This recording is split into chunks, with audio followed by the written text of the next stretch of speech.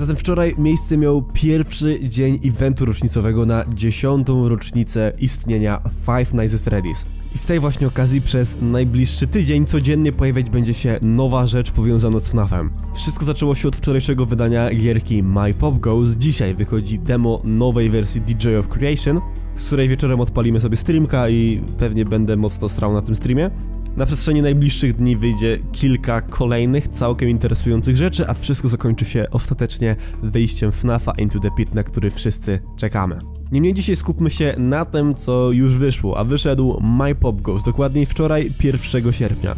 Siema, tutaj Mondar, witam was bardzo, bardzo serdecznie w kolejnym filmie, w którym zajmujemy się premierą dnia wczorajszego, czyli mianowicie My Pop Goes. Pierwszą grą, która została wydana na dziesięciolecie serii Five Nights at Freddy's. Dzisiaj wychodzi demówka nowego DJ of Creation, więc już chciałem was zaprosić na streamka, który odbędzie się dzisiaj wieczorem, może jakoś o 20, 21, nie jestem pewien o której godzinie to demo wychodzi, ale możecie być pewni, że streamek z tego na tym kanale będzie, więc możecie się przygotować, bo myślę, że będzie naprawdę fajnie. I co za tym idzie dość strasznie, aczkolwiek jeszcze nim zaczniemy, mam dla Was e, naprawdę mocną i istotną dla mnie informację.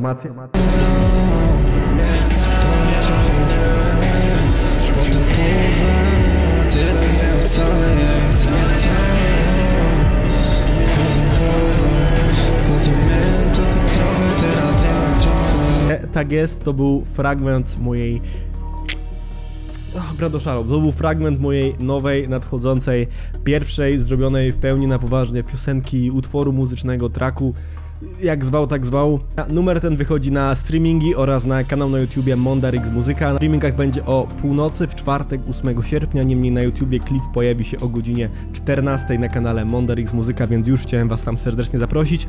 E, Kminiłem nad tym projektem bardzo długo, miałem parę załamań, jak chodzi o produkowanie rzeczy. E, jak chodzi o naukę, robienie wszystkiego naraz, robienie bitów, klipów, miksów, tekstów, wszystkiego, ale myślę, że wyskillowałem się przez ten rok na tyle, że naprawdę dowiozę wam naprawdę super rzeczy, więc teraz e, usłyszeliście 15 czy tam 20 sekund tego nowego kawałka. Będziecie tego odsłuchać. Mam nadzieję, że będziecie chętni, że ta muzyka wam się spodoba i że e, zrobimy wokół tego coś większego niż po prostu zwykłą gównianą muzykę youtubera, która gówniana nie będzie. Będzie naprawdę super. Sam spodziewałem się, że gra wyjdzie o trochę cywilizowanej porze, czytaj na przykład o 9 rano jak zazwyczaj i wyszło o 9, tylko że o 9 wieczorem. Gra na Steamie została odblokowana po godzinie 21. Ja obadałem ją już z każdej strony i dzisiaj pokażę wam całe, może niezbyt powalające, ale lore tej gry. Kilka interesujących poukrywanych detali oraz parę rzeczy, które nasuwają mi się na myśl, kiedy myślę o niej, a mam parę ciekawych rzeczy do powiedzenia. Generalnie zacząć musimy jeszcze w 2023 roku, kiedy w okolicach kwietnia wyszła pierwsza wersja tej gry, która ach, niestety nieznacznie różni się od tej, która wyszła wczoraj. To jest zasadniczo dokładnie jedna trzecia tej gry, a pozostałe dwie trzecie dodane w ostatecznym wydaniu, które zobaczyliśmy wczoraj, są tylko trochę rozwinięciem tamtego konceptu, co szczerze trochę mnie boli. Jeżeli chodzi o wersję, która wyszła wówczas była bardzo podobna, co prawda całkiem niedopracowana, aczkolwiek fundamenty i generalnie większość gry była całkiem podobna. Gameplayowo opierało się na tym samym, miałeś 5 dni, kiedy musisz utrzymać swojego popgołsa przy życiu. A gdzie niegdzie pojawiały się jakieś niepokojące sekrety, które w sumie niewiele ci mówiły, aczkolwiek dokładnie to są mamy w tej nowej wersji, która dodatkowo wzbogacona jest o parę rzeczy z lore. Niewiele, ale jednak oraz dodatkowo kilka challenge oraz innych trybów gry, które trzeba przejść, żeby otrzymać 3 gwiazdki i 100% grę.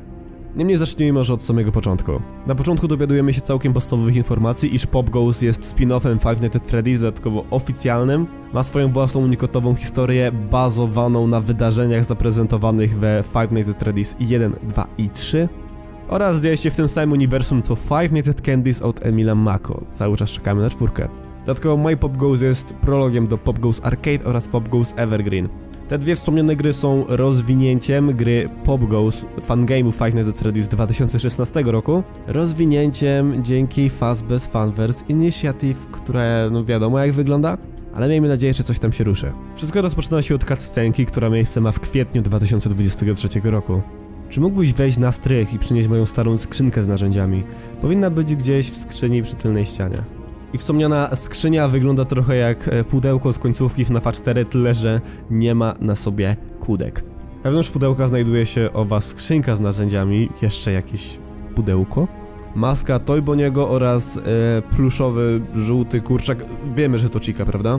Wówczas główna bohaterka, czyli Bonnie, nie mylić z tym Bonnie, tylko Bonnie. Ona, Bonnie, Bonnie Glade, mówi, że odnalazła eksperyment, który zrobiła za pośrednictwem drukarki jej taty i jest zdziwiona, że nadal działa. Z tego co mówi Bonnie dowiadujemy się również, że owa Chica nawet nie wiadomo czy jest oficjalna. Chyba nie jest. W końcu bierze ona trochę inne pudełko do rąk i wówczas mamy flashback, który przynosi nas 15 lat wcześniej do 2008 roku. Kiedy to mała 10-letnia Bonnie na swoje 10 urodziny dostaje od ojca, który z własnych przyczyn nie mógł pojawić się na jej urodzinach, gierkę My Pop Goes. Tutaj po prostu grę z Freddym Fazberem w pizzerii Freddy'ego Fazbera, tylko zamiast Freddy'ego Fazbera jest tutaj My Pop Goes. I tutaj zaczyna się główna gra. I powiem tak, wszystko jest spoko, bardzo prosty gameplay, da się z tego mieć jakąś przyjemność. Ja miałem ją przed dojściem do dnia piątego, który jest takim bólem w dupie imo, że tego dnia piątego naprawdę ciężko się już gra. Na zasadzie te wszystkie czynniki tak bardzo szybko idą do góry i czasem ciężko jest go nakarmić, zrobić mu pizzę, wypić go jeszcze, żeby odpoczął. Jezu, straszne. Sam lubię trudne gry, ale no nie przypadam za arcade'ami, ale to tylko moje zdanie. W każdym razie po przejściu obrzydliwego bólu w dupie, jakim jest piąty dzień, yy, nagle babę znowu retrospekcję, tym razem 15 lat do przyszłości z powrotem do 2023 roku. To prawdopodobnie najdziwniejszej cutscenki, jaką widzieliście od dawna. Ktoś, najpewniej tata pyta się, hej, znalazłaś to? Tak, tak, przepraszam, zaraz będę. I następnie, pod koniec cutscenki, dosłownie na kilka klatek pojawia się... Nie wiem... Gościu leżący w masce Boniego w owej skrzynce, on dosłownie wygląda na martwego, czy nie wiem, ktoś go zabił i tam umieścił, nie mam pojęcia. I ten aspekt muszę wam trochę dokładniej wytłumaczyć, bo sam też trochę zawaliłem się w akcji i nie wiedziałem pewnych rzeczy, a teraz wiem. Generalnie na początek, żebyście mniej więcej wiedzieli o co chodzi z tą maską, bo niego muszę przedstawić wam e, fabułę pierwszego Pop Ghosta z 2016 roku. Tam również pojawiła się Bonnie, Bonnie Glade oraz jej ojciec Fritz Glade, który wcześniej pracował w drugiej restauracji Freddy Fazbear's Pizza i ma PTSD po The Bite of 87. Gdyż to właśnie on był ochroniarzem, który wówczas pracował w tej pizzerii i to on został dziabnięty. Fritz miał córkę, Bonnie Glide, którą zamordował, kiedy ta miała 22 lata. W momencie, kiedy pojawiła się przed nim w masce Toy Boniego, który jest odpowiedzialny za The Bite of 87 i ten poćwiartował ją siekierą. I to jest oryginalna wersja tej historii z Pop Goesa 2016, niemniej teraz do czynienia mamy z rebootem, który przedstawia podobną historię, ale w trochę inny sposób. Tutaj na przykład Bonnie już dożywa 25 lat na przykład. I wszystko to, co widzieliście do tego momentu oscyluje właśnie wokół tej samej historii. I myślę, że całość przedstawia po prostu wydarzenie śmierci Bonnie. Ta wybrała się na strych po skrzynkę z narzędziami, niemniej odnalazła starą maskę Toyboniego, którą sama wydrukowała za pomocą drukarki 3D i zeszło pokazać się w niej ojcu, który zaatakował ją siekierą i zamordował. Stąd właśnie widzimy jej zwłoki w tej samej skrzynce oraz nawiązując do Pop Goes Arcade, widzieliśmy również sam moment jej śmierci, kiedy ta leży w plamie krwi, a tuż obok znajduje się siekiera. To Fritz, jej ojciec zamordował ją przez PTSD. I ten wątek wróci trochę później, pod koniec sobie to podsumujemy. Dokładnie taki sam ending znajdował się w tej podstawowej wersji sprzed roku.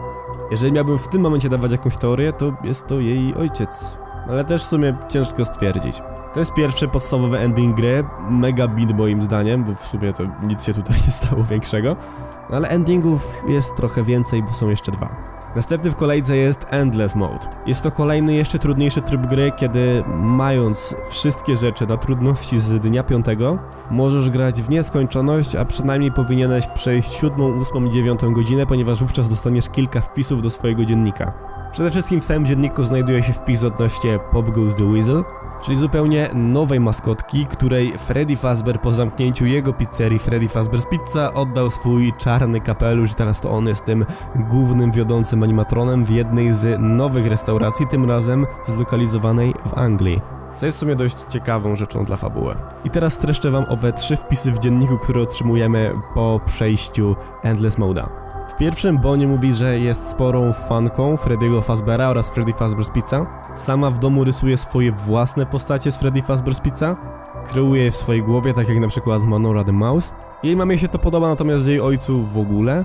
Sam jest lekko zmartwiony faktem, że jego córka interesuje się Freddy Fazbear's Pizza. Sam uważa, tu cytat, że to miejsce jest nieszczęśliwe czy coś.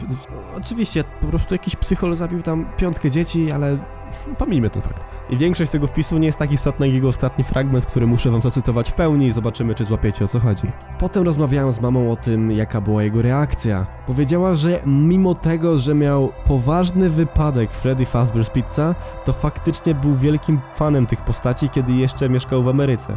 Powiedziała, że wymyślał własne postacie, tak jak ja, a przynajmniej tworzył sztukę typu Freddy. Fritz Glade, czyli ojciec Bonnie, jest ofiarą The Bite of 87. Dlatego nienawidzi Freddy Fazbear's Pizza i ma PTSD. Wiele lat później to PTSD doprowadzi do zamordowania jego własnej córki. Drugi wpis jest trochę dłuższy i bardziej koncentruje się na relacji Bonnie z ojcem. Na tym jak jej ojciec był trochę obrażony, urażony na nią, tym kiedy dowiedział się, że ta jest całkiem zainteresowana Freddym Fazbearem i spółką. Okazuje się również, że Pop Goes the Weasel i cała reszta postaci jest tak naprawdę wymyślona przez nią na kartkach, łącznie z postacią Morsa, wokół której kręci się cała treść tej notatki. Bonnie do końca tenże Mors się nie podoba, ma z nim pewien problem. Sam podaje kilka argumentów, dla których w ogóle on jej nie siedzi, a później w sumie wszystko się układa. Bonnie dalej rozmawia z ojcem i jest w sumie git. Teraz przejdźmy do trzeciej notatki. Na samym początku notatki dowiadujemy się, że Bonnie wraz z rodzicami wybrała się na cmentarz do swojej babci Rose, z którą nigdy nie rozmawiała, kiedy ta jeszcze żyła. Wkrótce miejsce ma ich pierwsza rozmowa, gdyż Bonnie zauważa albo słyszy, że może rozmawiać z duchami, teraz rozmawia z duchem swojej babci. Jestem całkiem zafascynowana, bo faktycznie porozmawiała tam z nią, weszła z nią w trochę większą interakcję, a później przez y, kolejne części swojej notatki mówi o tym, że może rozmawiać z duchami jako jedyna i że bardzo chciałaby jeszcze raz wybrać się na cmentarz i sprawdzić, czy może też porozmawiać z innymi zmarłymi. I dalej zatrzymując się przy tej ostatniej kartce, sam fakt, że Bonnie miała kontakt ze swoją zmarłą babcią nawiązuje też poniekąd do tej oryginalnej Bonnie, która była zafascynowana tym światem typu afterlife, tym co dzieje się po życiu. Przy co głowie pojawiła się teoria, że musi zostać przez kogoś zamordowana, żeby zbadać ten świat i ostatecznie stała się Black Rabbitem, czyli tak jakby głównym antagonistą tamtego Pop Ghosta i najpewniej również tego. W skrócie wątek rozmowy z babcią pewnie później wyewoluuje do jakiejś dalszej interpretacji wątku z pierwszego Pop Ghosta albo jego innej iteracji.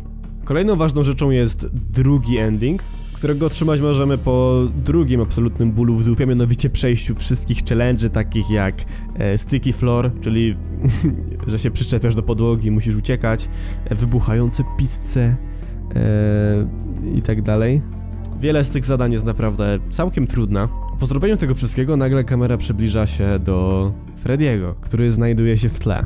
I po chwili całość zmienia się w nagranie VHS, na którym widzimy Freddy'ego Fazbera z jeszcze tej pierwszej oryginalnej pizzerii Freddy'ego Fazbera, najpewniej z okolic 1985 roku, w której to William Afton zamordował piątkę dzieci. I po raz pierwszy w tej dziesięcioletniej historii widzimy właśnie tą trójkę oryginalnych animatronów w swojej oryginalnej, pierwotnej wersji z pierwszej pizzerii na scenie. Tak oficjalnie poza nieoficjalnymi kasetami VHS. Widzimy tutaj Freddy'ego, Bonniego oraz Chikę. To są dokładnie te same animatrony, które w dwójce są Wiffred animatronami i służą jako części wymienne dla Toy animatronów.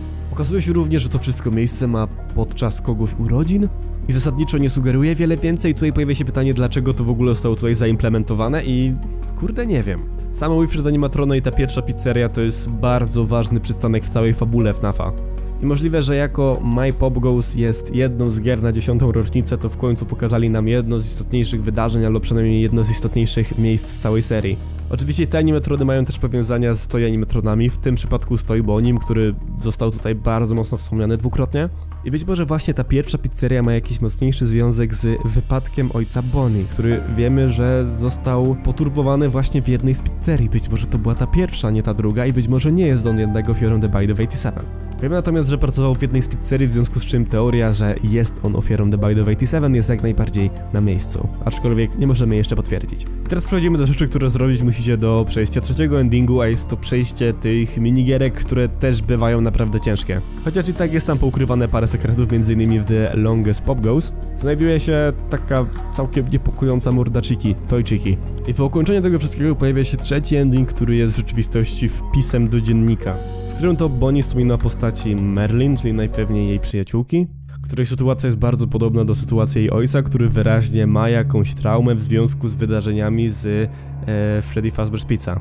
Sama postanawia pomóc im w jakiś sposób i wejść e, w ich historię, wykorzystać je i stworzyć masywny dokument, blog czy cokolwiek, który połączy wszystkie kropki powiązane z ich historiami. Cała inicjatywa nazywać będzie się The Violet Project i najpewniej właśnie będzie skupiać się na przepracowywaniu traum powiązanych z tym, co wydarzyło się we Freddy Fazbear's Pizza. Przynajmniej o ile dobrze to rozumiem w kwestii jej ojca oraz jej przyjaciółki Merlin. I to w sumie byłoby na tyle, poza pewnymi informacjami w dodatkach, gdzie m.in. wgląd mamy na Bonnie z 2008 roku, Bonnie z 2023 roku i Bonnie z 2024 roku, która już z nieznanych powodów zakłada na siebie wydrukowaną w 3D maskę Toy Boniego, którą wcześniej widzieliśmy na strychu. Jej dalsze losy są już kontynuowane w Pop Evergreen oraz Pop Arcade. Dodatkowo są tam informacje o Freddym Fazbearze, Bonim oraz Chice z tej jeszcze pierwszej pizzerii. I to by było na tyle.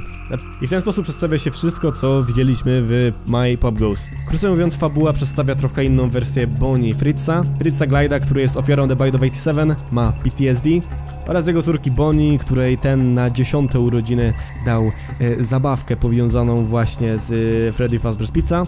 Sam jednak nie mógł wtedy przy niej być, a wiele lat później ta założyła maskę Toy Boniego, przez to ten zamordował ją właśnie przez PTSD, bo to Bonnie dziabnął go w płat czołowy. Mocno zagmatwane, ale całkiem interesujące. Stanowi to ciekawy wstęp do nadchodzącego Pop Goes Evergreen, aczkolwiek jednak Kane mógł to ugryźć trochę lepiej.